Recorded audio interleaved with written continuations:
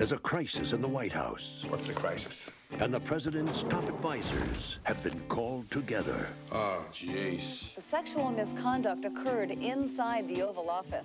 With the election only days away, how much will this scandal affect the outcome?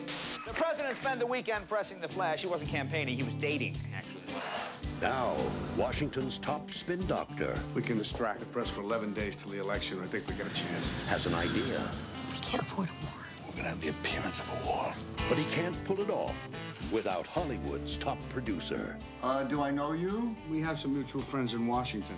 Why come to me? We want you to produce. You want me to produce your war? Not a war, it's a pageant. We need a theme, a song, some visuals. We need, you know, it's a pageant. New Line Cinema presents How close are you to this? What do you want the kid to say? all the spectacle, I know we're all concerned for the president.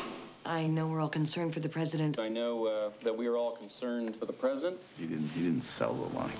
all the drama, The president's gonna go to war with Albania in about 30 minutes. Albania's hard to run. These are chips. We need it for the armed position on the screen. It'll be a kitten. We'll punch it in later, right? and all the effects of real war. Okay, put the, the village behind her. Give me some sound of screaming. Without the casualties. America has seldom witnessed a more poignant picture of They used the same process with the last Schwarzenegger movie. You're the man. Albania, Albania. That rhymes. I can't believe that we forgot a hero. It was like we sent him the Christmas card and we left out the what do you call fruitcake. There you go. Sergeant Schumann, if I may, welcome to history. How are you? Anybody want a beer? Because I could party.